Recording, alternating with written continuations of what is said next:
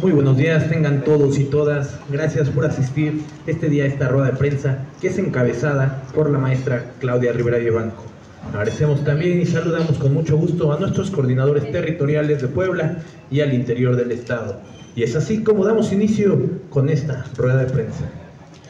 Muchas gracias. Muy buenos días, compañeras, compañeros de los medios de comunicación, ciudadanas y ciudadanos del Estado de Puebla para nosotros eh, siempre es muy placentero poder contar con estos vínculos de comunicación y de acercamiento. Y antes de dar eh, inicio a, a, los temas coyunturales y políticos, me gustaría pedir unos instantes de reflexión por lo que está ocurriendo del otro lado del mundo, entre Israel, entre Palestina. No podemos ser indiferentes y aunque hay una impotencia porque no podemos hacer nada, tampoco eh, el ser indiferentes tampoco nos lo podemos permitir. Y creo que es importante tomar una reflexión porque es al final de cuentas un reflejo de nuestra humanidad. Es algo que tiene o que encarna la condición humana y que nos puede permitir en estos instantes de reflexionarlo no tomar partido, sino tomar una postura de qué personas son, somos las que queremos ser y qué aspectos permitimos que nos separen y cuáles no. Este instante que no quería dejar pasar de reflexión, bueno, pues hay temas eh, que nos acontecen. Como saben, se dio a conocer un resolutivo y una propuesta de iniciativa del INE para el proceso que nos acontecerá el próximo año 2024, donde, como sabemos, se elige presidencia de la República, se compite en nueve estados, para el estado de Puebla 217 municipios, diputaciones federales, senadurías, eh, diputaciones locales. Esta tarea, como saben también, el INE ya dio a conocer su proyecto y es lo que hemos venido sosteniendo. El proyecto actual propone, y le sugiere a todos los partidos políticos que sean cinco mujeres las que encabecen en los nueve estados. ¿Bajo qué criterio? Bajo el principio vigente, que es que cuando sea un número eh, non, se le dé preferencia a la participación de las mujeres, toda vez que la ley de paridad de género obedece a esa participación, a privilegiar, a priorizar la participación de las mujeres. Esto es lo que hemos venido mencionando, que da un peso electoral de un 66.6% de probabilidades de que Puebla sea encabezado, sea de uno de los estados que sea encabezado por una mujer. Yo estoy convencida no solamente de que es tiempo de las mujeres, sino de que las mujeres estamos abriendo esa brecha, estamos abriendo ese camino para ocuparlo y para hacerlo muy bien. Así es que el estado de Puebla tiene en estos momentos todavía una mayor posibilidad, una mayor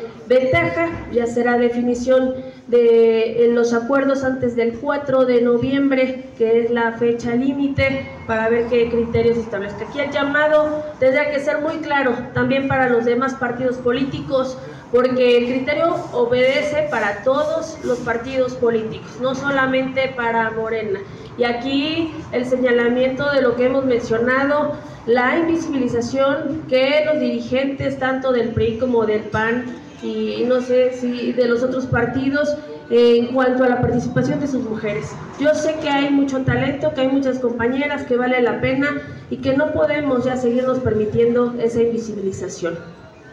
Por parte de lo que sí nos corresponde a nosotros como partido político y que es importante compartirles, es que, eh, bueno, el próximo jueves se estarán dando a conocer ya la lista final de quienes estábamos en la encuesta final de los nueve estados, de las nueve entidades.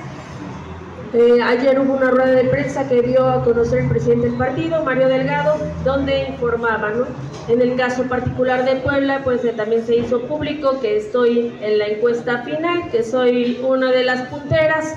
y que, bueno, como ya nos los habían reiterado, los punteros estábamos en la encuesta final. Eso eh, no era sorpresa, es importante reiterarlo Nosotros ya sabíamos que estábamos considerados en esa encuesta porque no hemos dejado de trabajar y trabajo mata grilla. El trabajo, el reconocimiento del territorio, el recorrer los 217 municipios, el tener la preferencia del electorado no solamente por el hecho de ser mujer, sino por ser la única que no viene de otro partido político y estar en, esta, en este proceso de transformación con toda la convicción, creo que nos va permitiendo ganar también esas preferencias, esas encuestas y bueno, pues listas para, para el, el proceso final que se estará llevando ya en las últimas semanas del mes de octubre.